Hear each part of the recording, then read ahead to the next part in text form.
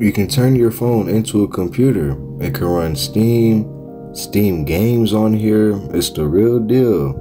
And since these are the PC versions, you can run them with mods as well. So it's better than console. And you can run FL Studio. You can also watch whatever you want for free on here. You can, it's basically a real computer. You can do whatever you want on here, bro.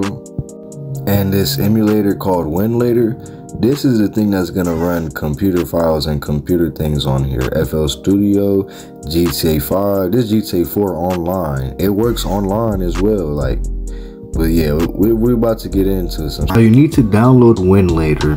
The link is in the description. And once you enter that link, it'll have a bunch of these different type of Winlators. It doesn't matter which one, they all work on them. So just download the one that has the best features you like on them or something.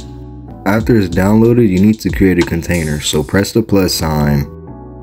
Time to set up this FL Studio for my producers out there. It's time to hook this up, man. Just follow them settings.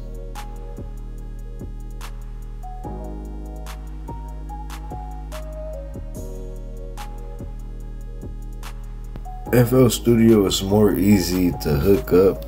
It's just more so of the settings. Like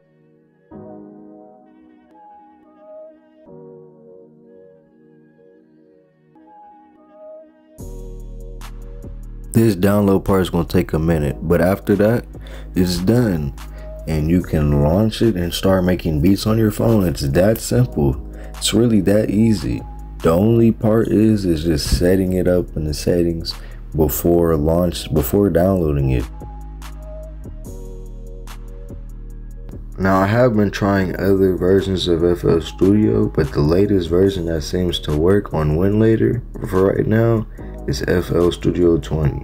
If you start to load the shortcut, and it closes on you when loading in and you, you, go back to the menu or something just keep retrying it until it works. And it won't crash when you're in it but for some reason like it doesn't work every time. Like for me it just worked the first try. But sometimes it'll it won't work every time when you open it. It'll go back to the menu. So try to open it and once it works you're chilling. Like it's not gonna crash or nothing like that. Just make sure your phone is charged or something you also got GTA 5 running on the phone too.